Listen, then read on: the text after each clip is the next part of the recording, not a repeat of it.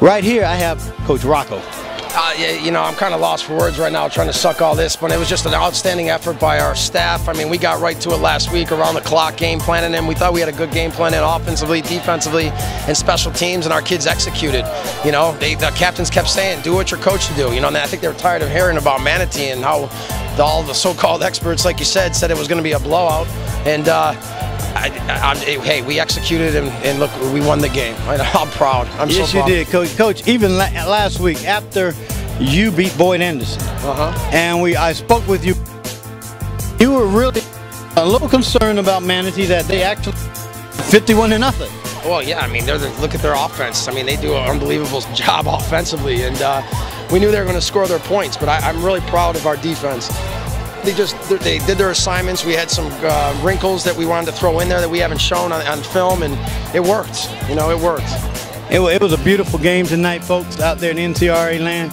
Coach Rocco has pulled the upset. He goes down with the great coaches now, Coach. When you uh, when you knock down, you, you still got business to finish, but when you knock the mighty down, you gotta feel good to knock off the top-ranked team, not in the state of Florida, but in the nation feels good. you guys are my good luck charm. All right, Coach. So we'll see you next week in Orlando. See you next week. okay, take care. So we just had Coach Rocco there. This is Coach DC live at NCR with NCRA Sports, and we're right here at St. Thomas Field. There was no losers tonight. Manatee played an excellent ball game. St. Thomas just came out on top. They made a few more plays than Manatee did. Good luck to St. Thomas next week against, I believe they're playing Tallahassee Lincoln. But good luck to them. And Good luck to Manatee along the way. They've had a great season. They have no reason to hang their head. They finished the year the number one team in the nation. So now someone else must claim that crown. We'll talk to you later. Stay tuned. You coached a lot of great teams. How does this one pan out and look to the ones you've coached? Well, uh, the way I look at it, I mean, there's a lot of comments in the paper today, and and you know, we kind of went through the same thing in in, in 09 when Manatee actually beat us. We were ranked number one in the country, and they, they were all talking about, well, what happened to St. Thomas and what, what this and what that. And, you know, we're not back because we didn't go anywhere.